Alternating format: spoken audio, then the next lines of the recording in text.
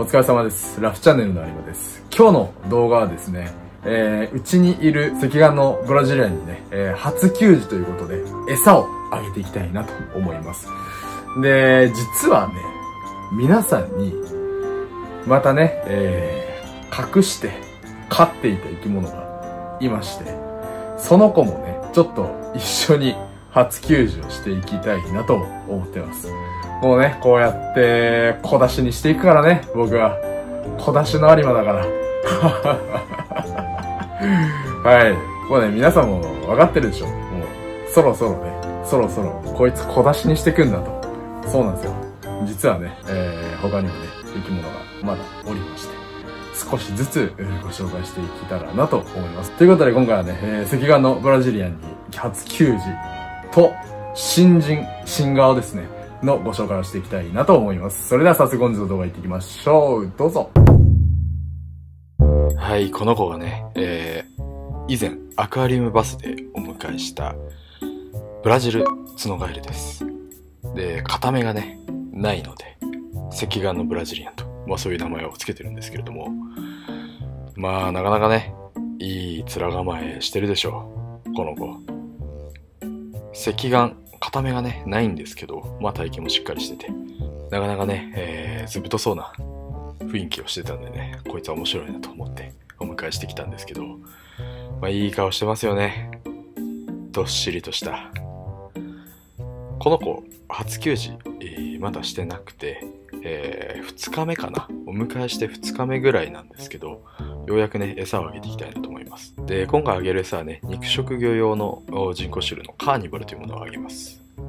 食べるかな？片目しかないから、おお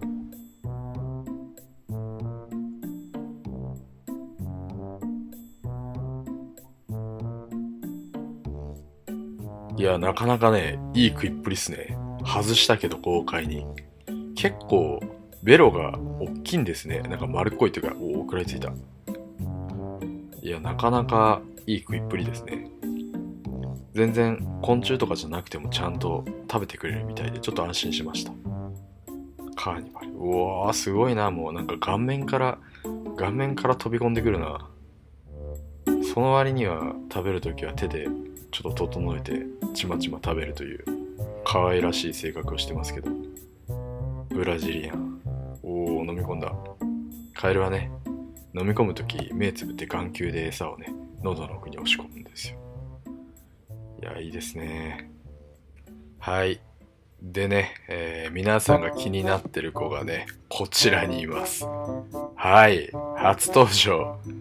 なんとこの子アマゾンツノガエルお迎えしておりました。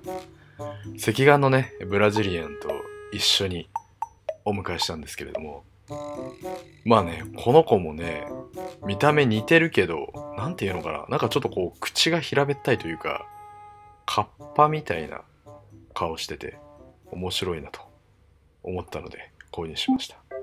こっちは丸っこいよね。ブラジリアンは。ブラジルツノガエルは。食べるかな？おお食べた。可愛いっすね。食らいつくときは勢いいいのに。あまた出した。あ何が気に入らないんだ。可愛いなほんとこいつ。ちんまりしてて可愛いっすね。でせっかくなんでね、えーブラジリアンだけじゃなくてアマゾンツノガエルにもあげてみたいなと思います。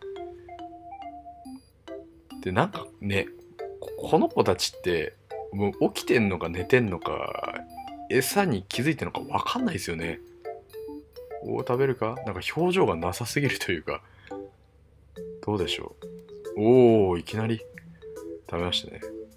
ああちぎれちゃってるちょっと。お残しはいけませんよ。ダメですね。食べないブラジリアン行くか？どうだ？赤眼のブラジリア。ンこの子眼帯つけてあげたいななんか。おお食った食った。この子はね食欲旺盛ですねやっぱ。やっぱり体型がしっかりしてるってことはもともと餌食いも良かったっていうのは間違いなさそうですね。うん。かわいいな。